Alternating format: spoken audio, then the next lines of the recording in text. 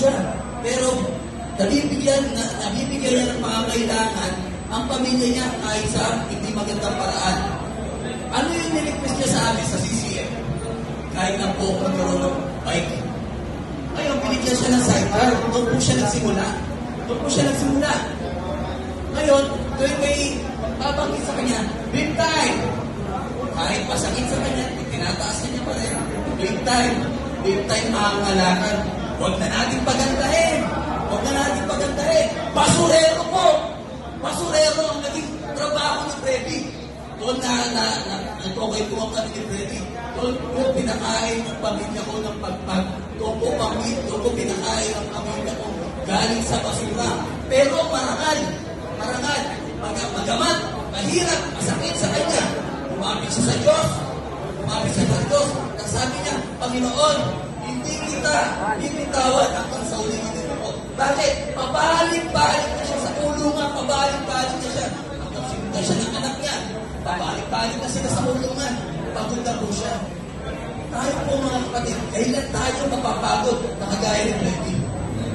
Ngayon po, dahil sa paghihintay ni Freddy, dahil sa paghihintay ni Freddy sa sa blessing ng Panginoon, napakahaba ng panahon.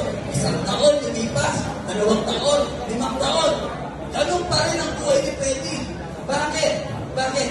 Piniprepare pala siya ng Panginoon sa malaking blessing sa kanya. Ano yun? Si Freddy po ngayon, ako natatakot. Bakit? May napuntan na akong property. Meron na ako nabili para sa mga anak ko. Tingnan nyo, na dating basurero, inangat ng Diyos, pag-angat ng Diyos, kasama yung buong pamilya, kasama ang naglilingkod sa Diyos, ngayon sila, kasama iisa silang naglilingkod sa Diyos. Kasi sana, Freddy, ah, siniraan kita. Ganun din si Remy. Si Remy, paglabas dito, yung mga anak, nag-aaral. Paano ko mapag-aaral yung mga anak ko? College na. Paano ko mabibigay yung gusto ko? Eh, gusto ng Diyos ang naging mo, Remy, hindi yung gusto mo.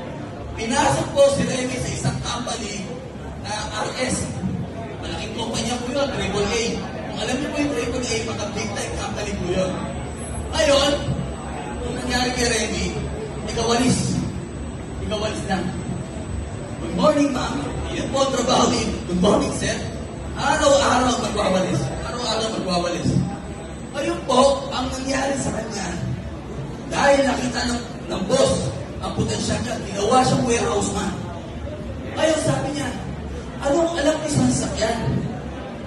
Hindi, hindi ako marunong. Sabi ng Diyos, ikaw, diyan kita inilagay, ako ang bahala sa iyo, magtiwala ka sa akin. Naging supervisor. Akalain mo isang preso ginawang supervisor na dating hindi pinagkakatiwalaan ng, sang, ng mamayan. Ngayon, pinagkakatiwalaan ng isang malaking kumpanya. Di ba? Saan tayo? Bakit, bakit, sila? Bakit sila nakaranas ng ganito? Dahil nagtiwala sila, sila sa Diyos. Hindi sa kanila nila lakas. Ayun po ba? Amen. Dati po, pagpasok ka na CCM. Ah, natin. ano yung magiging part natin? Ang gusto nyo ba pagka, pagka nandito tayo, nakikita, namatay kayo. Sabay kayo namatay ng anak mo. Sabay kayo namatay ng kapitid mo. Nasa bigyan tayo. Tayo ba? Hindi ka nasa magandang buhay. Ako ang naghihirap. Dahil anong ginawa mo? Pinabayaan mo ako, Tay. Hindi mo sinabi sa akin yung mabuting salita ng Diyos. Nagiging makasatili. Nagiging makasatili. Dapat, ibahagi natin sa pamilya natin kung ano yung nangyayari sa atin sa loob, kung ano yung nagiging, yung, kung ano yung pagpapala natin, ibahagi natin sa pamilya natin na may magandang nangyayari sa atin. Hindi mo kailangan sabihin sa pamilya mo, nagbabago na ako. Hindi mo kailangan sabihin yun. Sila mismo makakita ng pagbabago ko. Hanap ako niyang tayo. Hindi mo kailangan pagmalaki na umaati na ako ng ganito, umaati na ako ng ganito. Hindi mo kailangan pagmalaki. Ngayon, ano ang kailangan mo? Ano ang part mo sa kanila? Hanggat buhay ka pa. Ituro nyo sa kanila kung ano yung natatamo nyo ngayon.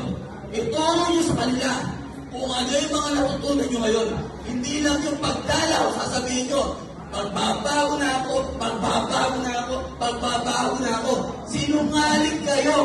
Hindi totoo yan. Dahil pag nakalabas kayo, pinuntahan na naman kayo ni kumpare, ubos na naman ang oras natin sa kanila. Yung pamilya natin ang pinakakuha natin, hindi na naman tayo nakapag-commit sa kanila. Kaya ano dapat ang motto natin?